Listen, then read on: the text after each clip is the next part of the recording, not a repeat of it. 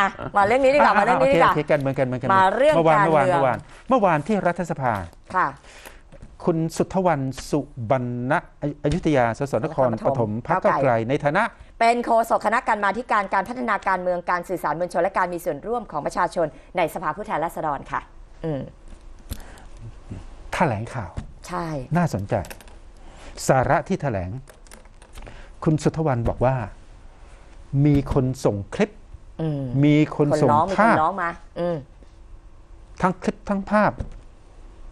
เป็นการฟ้องว่า สสวิทยกรคำประกอบ สสนครสวรรค์พลังประพรชารปรัฐระชารัฐอืมน่าจะกระทำผิดกฎหมายอะไรหรือเปล่าค่ะเพราะไปช่วยหาเสียงเลือกตั้งอบตที่นครสวรรค์ ใช่แล้วมีคลิปประกอบด้วยนะ และถ้าผิดโทษทั้งจำทั้งปรับ และตัดสิทธิทางการเมืองด้วย ใช่ค่ะเรื่องใหญ่เลยนะ ผิดกฎหมายเลือกตั้งไงผิดกฎหมายเลือกตั้งไง เอาละครับแฟร์ๆนะ เราจะไปฟังหลักฐานของทางซีกเอ่อกรรมาธิการก็สักนิดหนึ่งอืมมีหลักฐานอะไร จากนั้นเราก็คงจะต้องให้พื้นที่กับคุณเวรกรคำประกอบในการอธิบายความ ใช่เจ้าตัวไงที่โดนพาดพิงโดนกล่าวถึงนะคะ ที่ปรากฏอยู่ในคลิปว่ามันยังไงอะไรกันอะไปกันที่คลิปที่มีคนหยิบฉวยมาฟ้องกรรมาธิการสภา เชิญค่ะ วันนี้ผู้แทนมาเอง ขอคะแนนในเบอร์หนึ่งด้วย กาเบอร์หนึ่งทั้งเบอร์ใหญ่เบอร์เล็ก มีบัตรสองใบกาเบอร์หนึ่งโลดครับหนึ่งอย่างเดียว ครับครับขอให้ทุกท่านทุกคนได้รับการเลือกตั้งทุก ๆ คนเลยนะครับ ดูหน้าแล้วมีราศีครับมีราศีได้รับเลือกตั้งทุกคนครับสวัสดีโชคดีครับสรุปนะ วันนี้สสมาเองขอคะแนนให้เบอร์หนึ่งด้วย ผมก็ไม่ทราบว่าในคลิปมันเป็นใครนะ ไม่แน่ใจไม่แน่ใจ ขณะเดียวกันภาพที่เขาส่งมาที่กรรมาธิการเพื่อประกอบการเอ่อเร้องเรียนร้องให้มีการอืมเช็คบินคุณวีรกรนะไปดูภาพอ่าตรงกลางเสื้อสีชมพูใช่ไหมใช่ ก็น่าจะเป็นเอ่อคุณวีรกรตัวสูงๆนิดนึง ใช่ใช่เนี่ยคนนี้แหละตรงกลางเขาอ้างว่าเป็นคุณวีรกรขับกอบค่ะซ้ายขวาก็น่าจะเป็นทีมผู้สมัครอะไรสักอย่างซึ่งเราก็ไม่รู้ค่ะแต่ก็แฟร์ๆนะ ผมว่าไปกันที่คุณวีรกรคำประกอบสักนิดหนึ่งฟังแกอธิบายนิดหนึ่ง สสนครสวรรค์นะคะพัฒพลังประชารัฐนะคะ สวัสดีค่ะคุณวีรกรค่ะสวัสดีครับสวัสดีครับ คุณอมรรัตน์คุณดนัยครับครับค่ะอ่าฟันธงตรงประเด็นยังไงกันอ้าวคลิปเมื่อสักครู่ คลิปเมื่อสักครู่ คลิปเมื่อสักครู่ใช่คงคุณวีรได้กรไหมคงได้เห็นได้ฟังกันแล้วใช่ไหมครับ เป็นคุณวีรช่วงกรหนี้รือเปล่าเห็นเป็นช่วงนี้เห็นเป็นร้อยครั้งเลยครับอ๋อเพราะว่าเห็นเป็นร้อยว่อนเหลือเกินนะช่วงเนี้ยอ๋อฮะอืมฮะครับก็อยากจะพูดข้อเท็จจริงก่อนโอเคเพื่เชิอญที่ฮะให้ ประชาชนเนี่ยนะครับได้ได้ได้ได้ใช้วิจารณญาณในการรับชมรับฟัง ครับ เรื่องนี้เกิดขึ้นเมื่อวันอาทิตย์ที่ผ่านมานะครับ อาทิตย์ที่แล้วเนี่ย ครับ ผมเนี่ยไปธุระจากทางด้านเอ่อตำบลเขากะลา แล้วก็ผ่านมาตรงนั้นพอดี ครับ คณะของอาจารย์เอ่อคณะของผู้สมัครเนี่ยนะครับ ครับ เขาก็รวมพลกันที่บ้านของผู้สมัครนั่นแหละนะครับ ผู้สมัครเอ่อสมาชิก ซึ่งอบตอยู่ในหมู่บ้านนั้นเนี่ยนะฮะคสรับมาชิกอบตเนี่ยเขาก็รวมพลกันเพื่อที่ เวลาเกิดขึ้นประมาณบ่ายสามโมงเสร็จๆเนี่ยค่ะครับทุกเย็นเนี่ยเขาก็จะออกไปเคาะประตูบ้าน แล้วก็อืมทำความเข้าใจชี้แจงนโยบาย ชี้แจงตัวบุคคลนะครับ ว่ามีใครสมัครกันบ้างครับซึ่งเป็นการกระทำที่ผมว่าน่าน่าชมเชยนะครับเดี๋ยวเนี้ยการหาเสียงในต่างจังหวัดเนี่ย ไม่หากันอย่างนี้แล้วนะครัอ๋บอเหรอครับให้จดชื่อซื้อเสียงกันอย่างเดียวอืมซึ่งผมว่ามันผมว่าอยากให้คณะกรรมการโอเคพัฒนาการเมืองเนี่ยโอเคซึ่งออกไปแถลงเมื่อวานเนี่ยครับพยายามแก้ให้ถูกจุด ใครก็ตามที่ทำอย่างถูกกฎหมาย ออกไปเคาะประตูบ้าน แนะนำนโยบายว่าเราจะครับทำอะไรเนี่ยครับเป็นสิ่งที่ถูกต้องเนี่ย ควรจะช่วยกันพัฒนาสิ่งเหล่านี้ ให้มันโอเคคู่กับการเมืองไทยโอเคกลับมาอยู่การเมืองไทยโอเคไม่ใช่ใช้ระบบใหม่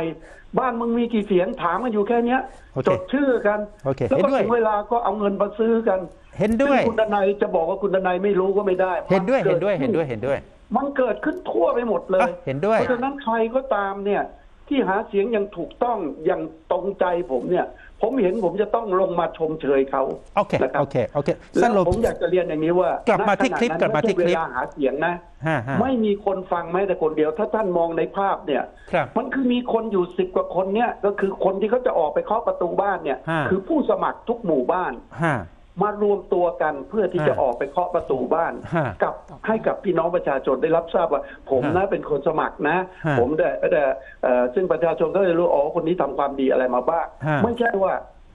จดชื่อซื้อเสียงเอาเบอร์หนึ่งโอเคหรือเอาเบอร์สองโอเคเบอร์สามโอเคอะไรเงี้ย โดยที่ไม่รู้เลยว่าใครลงสมัครบ้างไม่รู้เลยโอเคครับโอเคเพราะฉะนั้นเนี่ยสิ่งที่เราทำเนี่ยวันนั้นนะครับ ก็อยากจะเรียนว่า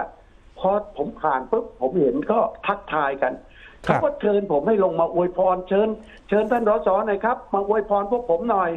ขณะนั้นเนี่ยไม่มีประชาชนที่จะมารับชงรับฟังอะไรนะครับฮะแต่ว่าเขายังยืนกันกระจัดกระจายสิบกว่าคนเนี่ยพอดีเขากำลังลองใหม่ไอ้ครับรถขยายเสียงซึ่งท่านก็คงเห็นเนี่ยครับแล้วก็โหลโหลโหลโหลก็อยู่นั่นแหละผมครัก็บบอกมานี่มาเดี๋ยวจะอย่างนี้ไม่เสียงไม่ค่อยดี เดี๋ยวครับปรับเสียงกันหน่อยอะไรอย่างเงี้ย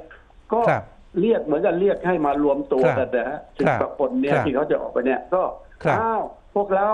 เลือกเบอร์หนึ่งนะอะไรอย่างเงี้ยนะฮะก็ก็เป็นการทักทายพวกพวกที่มากันเองเนี่ยนะฮะพวกที่เขาจะออกไปหาเสียงเนี่ยครับไม่ใช่มีประชาชนรับชมรับฟังครับถ้าท่านมองด้วยความใจเป็นธรรมเนี่ยจะเห็นว่าครับรอบนั้นเนี่ย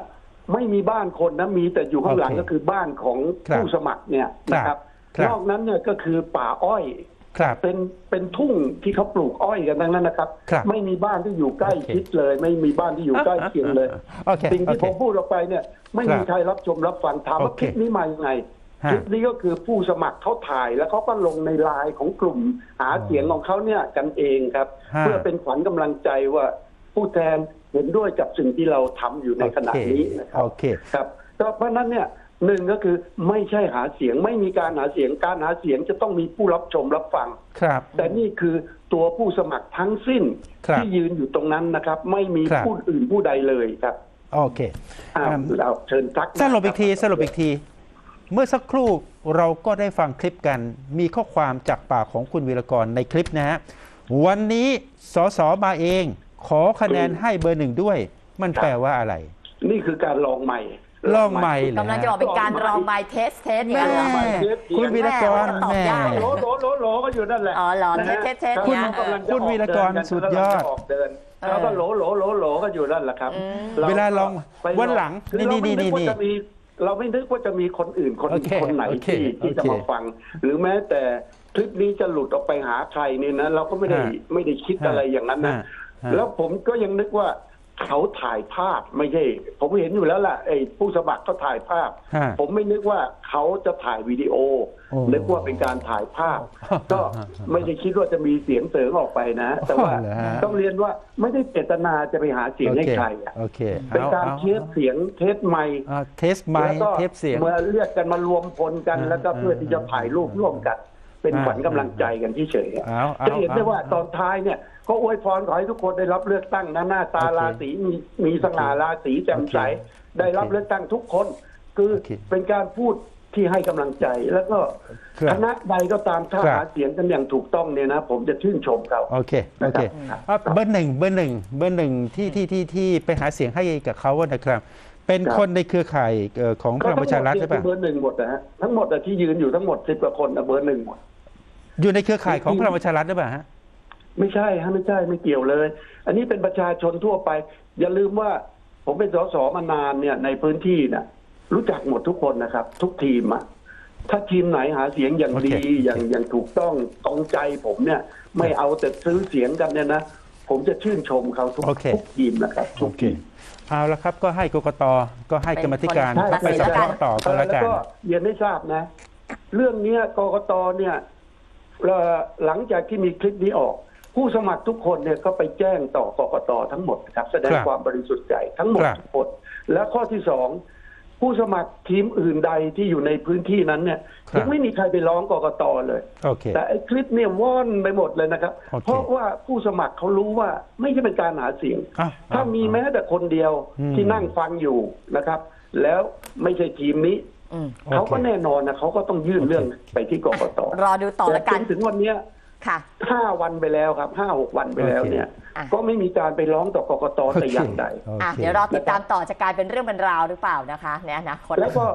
ขอขอนิดได้ไหมครับว่าครับ ไอ้มาตราสามสิบสี่เนี่ย